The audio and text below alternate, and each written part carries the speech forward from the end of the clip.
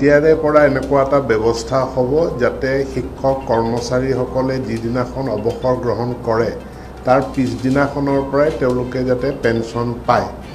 আগতে আমাৰ পেঞ্চনটো এটা দীঘলীয়া প্ৰক্ৰিয়া হৈ থাকে দুবছৰ তিনি বছৰলৈকে বা কেতিয়াবা পাঁচ বছৰলৈকে পেঞ্চনৰ পইচাকেইটা নাপায়। ইতিমধ্যে কৃতজ্ঞতা নামৰ যি পৰ্টেল খোলা হৈছে এই কৃতজ্ঞতা পৰ্টেলটোৰ জৰিয়তে এতিয়াৰ পৰা খুব সহজতে যাতে যিসকলে অৱসৰ গ্ৰহণ কৰে তেওঁলোকে আগতীয়াকৈ আবেদন কৰিব পাৰিব আৰু ইয়াত যথেষ্টখিনি প্ৰশাসনিক সংস্কাৰ সাধনত আজি অসম চৰকাৰৰ কেবিনেটে অনুমোদন জনাইছে। আমাৰ এন আই চিয়ে এটা এপ ডেভেলপ কৰিছে যিটোৰ নাম এন আই চি জীৱন প্ৰমাণ। অৰ্থাৎ জীৱন প্ৰমাণটোৰ দ্বাৰা আমি ঘৰত বহি মোবাইল ফোনৰ পৰাই আমি জীৱিত থকাৰ প্ৰমাণটো আমি দিব পাৰোঁ পেঞ্চনাৰজনে দিব পাৰিব আৰু বেংকৰ লগত ইতিমধ্যে আমাৰ সকলোখিনি কথা বতৰা আলোচনা হৈ গৈছে।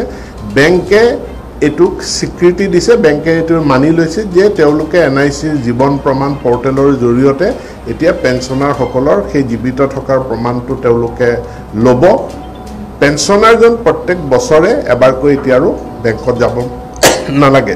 এশ ষাঠি কোটি টকা Assam food and civil supply কৰ্পৰেশ্যনলৈ মুকলি কৰি দিয়াৰ কাৰণে সিদ্ধান্ত গ্ৰহণ কৰিছে। আজি কেবিনেটে সেইটো অনুমোদন জনাইছে যে ডি এছ পি প্ৰবেশ্যনাৰ হিচাপে লভলীনা বৰগোহাঁইক অসম চৰকাৰে নিযুক্তি দিব আৰু তেওঁ সেইটো প্ৰবেশ্যনাৰ পোষ্টটো পিছত হয়তো পিছত তেখেতে ৰেগুলাৰাইজো কৰি ল'ব কৰি ল'ব পাৰিব আৰু দুই হাজাৰ মানে টকাকৈ এহেজাৰ দহ হাজাৰ আঠশ চৌৱন্নগৰাকী এ এন এমলৈ ভেৰিফায়াৰসকলৰ কাৰণে দুই হাজাৰ টকাকৈ ন হাজাৰ চাৰিশ বিছগৰাকী ভেৰিফায়াৰ আৰু ছাপৰ্ট ষ্টাফ দুশগৰাকীলৈ দুহেজাৰ টকাকৈ আৰু আশাকৰ্মী বত্ৰিছ হাজাৰ সাতশ পোন্ধৰগৰাকী। এই আশাকৰ্মীসকলৰ বহুখিনি আশাকৰ্মী তেওঁলোকে ক'ভিড ভেকচিনেশ্যনৰ সময়ত পোনপটীয়াভাৱে জড়িত হৈ তেওঁলোকে সহায় সহযোগিতা আগবঢ়াইছিলে কাম কৰিছিলে ফ্ৰণ্টলাইন হেল্থ ৱৰ্কাৰ হিচাপে।